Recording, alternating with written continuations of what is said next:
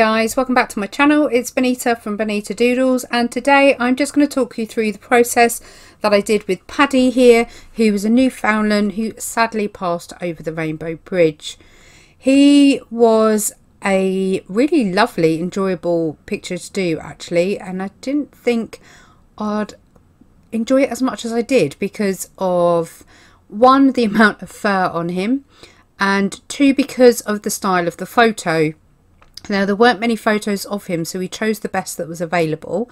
I made sure I turned him black and white on my phone because it was originally a colour photo. He has a lot of high contrast on his fur, which makes it look very shiny, and a certain amount of that I had to resist doing. He needed to be pared back a bit, really, so he didn't look quite so shiny, but I still wanted to keep some of the shine to make sure that he still looked like he was sort of sat out in the sun, really, enjoying the weather. I want to apologise very quickly because the lighting changes quite dramatically. I did this over a course of a few days. It took nearly, it was six and a half hours in total. And on one day, the lighting kept changing so much. It kept going in and out uh, with the, the sun kept hiding. Annoying little sun. And it meant then that there was very big dips in the lighting. So I do apologise about that. But if you are enjoying my videos, and you do like what you see so far, I go live every Wednesday, so it's worth hitting that subscribe button so you don't miss any of the live draw-alongs or tutorials. And I try and get a minimum of one video up a week, so don't forget to hit the bell button for the notifications. And also a thumbs up would be really, really nice if you have enjoyed watching the video so far.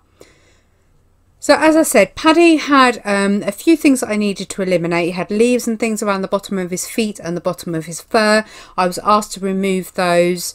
Um, it almost looked a little bit wet in some areas and we wanted to soften the whole fur feel.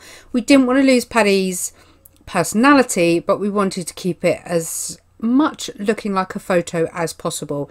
And I'm really, really pleased with the outcome of him. Now, the one of the reasons why I decided to specifically put this one up as not so much of a tutorial but maybe an advisory is that a lot of people panic when they look at furry dogs like this and think that they have to draw every single fur line that they think should be there. One of the things I say to my patrons all the time is you do not have to draw fur strokes everywhere. If you see a solid colour, then that's what you draw. I've always, always pushed the fact that you need to draw what you see, not what you think should be there. So for example, on the top of Paddy's head here, I purposely put the pan pastel down as a base because I knew it needed to be a solid black colour. I wanted to get the contrast on him, so I used the pan pastel black to help me get it really, really nice and dark. So that way I could go a bit darker with my mid-tones and my highlights wouldn't have to be these stark whites. They could be much more of a lighter grey. It doesn't deter um, deteriorate, not the word I'm looking for. It doesn't pull away from Paddy being a furry dog just because you have a solid piece of colour. Now this patch actually looks very, very fluffy. When you look at it against the side of the longer fur, you can just imagine, you could just feel it. If you were to put your hand on his head and just rub his little head, that your hand would just be covered in this beautiful, beautiful black fur. Again, under his chin where there's a really, really strong shadow. Don't be afraid to have a solid colour there, whether it be solid white, solid grey, solid black, solid blue, doesn't matter. As long as it's looking like your reference and your solid colours are where they should be, don't be afraid. I think too many people are worried that it doesn't look realistic when you have a block of colour. Well, actually, it's complete opposite. Sometimes it doesn't look realistic when you can see every single fur stroke.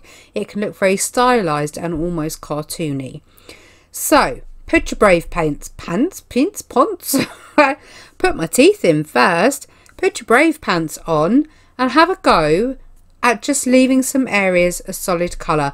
Just really, really look at your reference. Really pay attention to where your highlights, your midtones and your shadows fall. Stop worrying about them being a foot, a tongue, a nose.